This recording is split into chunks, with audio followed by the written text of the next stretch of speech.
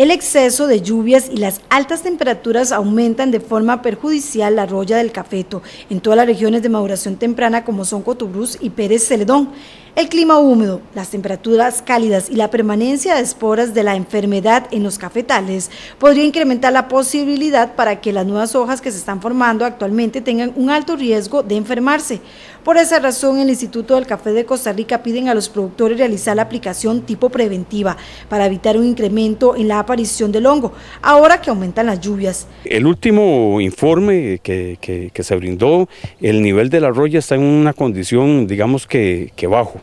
pero es normal, estamos empezando el periodo lluvioso, eh, hay una mayor producción de hojas, entonces eso disminuye la, cantidad o la incidencia de la enfermedad a nivel de las plantaciones, pero esto no debe eh, confiar al agricultor porque este, la roya está presente. Entonces el agricultor debe estar eh, planeando, si no lo ha hecho, debe hacer una aplicación de tipo preventivo con el propósito de disminuir el inóculo y cuando eh, eh, ya se dé el, aumento de lluvias, este, tenga la plantación protegida con una aplicación hecha ahora en estos días. Por ello es muy importante que el productor actúe de inmediato protegiendo su plantación. La condición actual es que el nivel es bajo, pero conforme va a ir pasando los días, eh, las semanas, los meses, y eh, si el agricultor no, no se empeña en hacer el combate este, de la enfermedad, obviamente que vamos a tener eh, una, una incidencia eh, fuerte, considerable. Entonces la,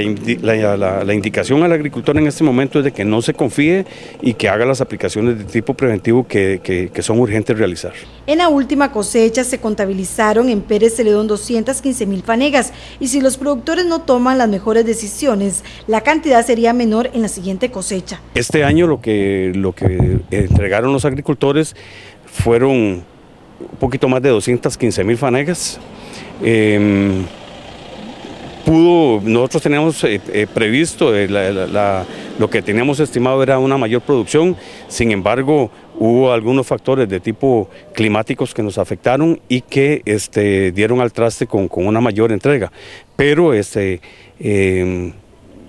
siempre, siempre tuvimos una, una producción significativa de 215 mil fanegas, un poquito más, como le digo, y esperamos nada más la, cosecha que, que está ahorita